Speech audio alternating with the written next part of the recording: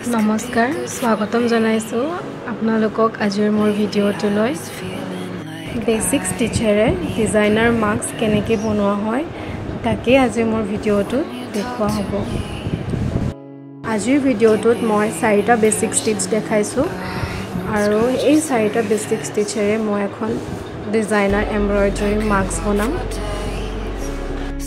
Basic stitch chain stitch lazy daisy fishbone আৰু chain ষ্টিচৰ আৰু এটা পাৰ্ট কাচিডা অফ কাশ্মীৰ যোনটো দেখিবলৈ চেইন ষ্টিচৰ নিচিনাই হয় কিন্তু নামটো মানে কাচিডা অফ কাশ্মীৰ বুলিও কোৱা হয় কিয়নো কাশ্মীৰত কাশ্মীৰী শ্বলবোৰ এইটো পেটাৰ্ণত বনোৱা হয় তো মই চেইন ষ্টিচ কেনেধৰণে বনাব পাৰি দুটা টাইপে দেখাই দিছোঁ এটা যোনটো চিম্পল আমি সকলোৱে জানো আৰু এটা কাচিডা অফ কাশ্মীৰ যোনটো আমি চেইন ষ্টিচৰ নিচিনাই হয় সেইটোও মই ভিডিঅ'টোত ধুনীয়াকৈ দেখাই দিছোঁ। আপোনালোকে ভিডিঅ'টো চালেই ধৰিব পাৰিব কেনেকৈ কাচিডা অফ কাশ্মীৰ ষ্টিচটো কৰিব পাৰে। আৰু এই চাৰিটা ষ্টিচেৰে মই মাস্কখন বনাইছোঁ।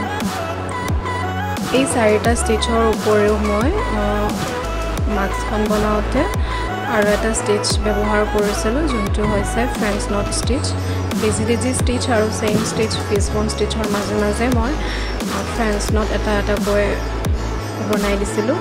আৰু এই ফ্ৰেঞ্চ নট ষ্টিচ কেনেকৈ বনাব পাৰে তাকো মই ভিডিঅ'টোৰ প্ৰথমতে দেখাই দিছোঁ।